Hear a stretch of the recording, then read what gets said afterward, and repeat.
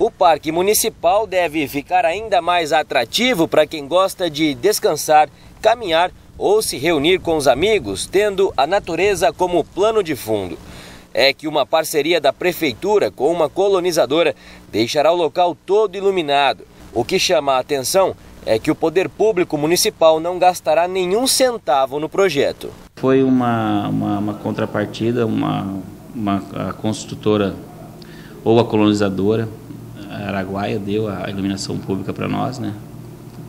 Em contrapartida, ele está fazendo o loteamento do lado da, da, da coisa. Então, parceria nossa com a empreiteira. Então, eles estão fazendo a iluminação ali por conta deles também, não tem custo para a prefeitura.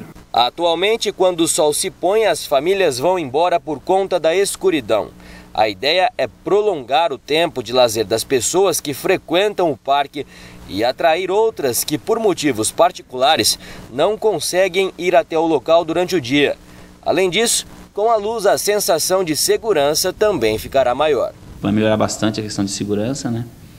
E com os outros loteamentos saindo ali em volta e mais moradores indo morar ali, vai estar também é, dificultando essa ação dos, de, de, de bandidos e assim por diante. Contudo, não foi estipulado o período em que a instalação dos postes de iluminação será feita. Eles estão fazendo, né? Assim, prazo ainda não deram, porque eles estão trabalhando no, no, no loteamento ali do lado, né? Provavelmente vai entregar junto com o loteamento.